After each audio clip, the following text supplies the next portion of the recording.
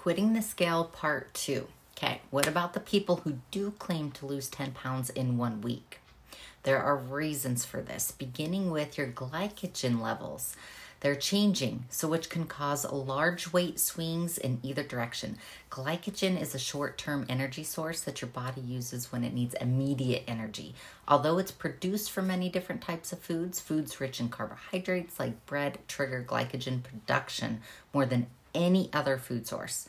It's a very good energy source, so much that it's the major reason why marathon runners carb load the day before a race so they can fuel up on glycogen. However, in terms of your weight, glycogen has a very interesting attribute. Three to four grams of water will bond to each gram of glycogen. You always knew that diet played a big role in both fat and weight loss, but once you understand the role of glycogen and water that they have with each other, a lot of things will make sense for you.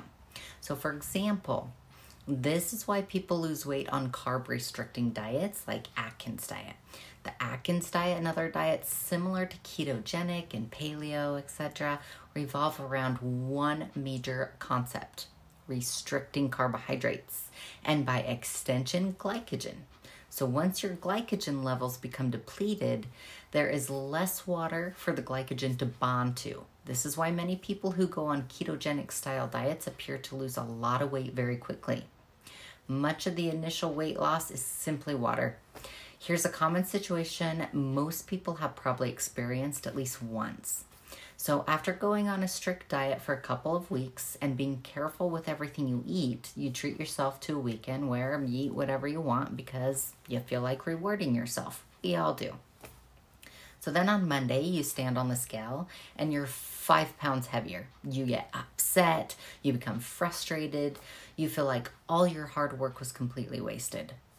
Good news you did not waste any of your hard work. It's glycogen that's fooling you. So follow me for part three on quitting the scale to stop weighing yourself.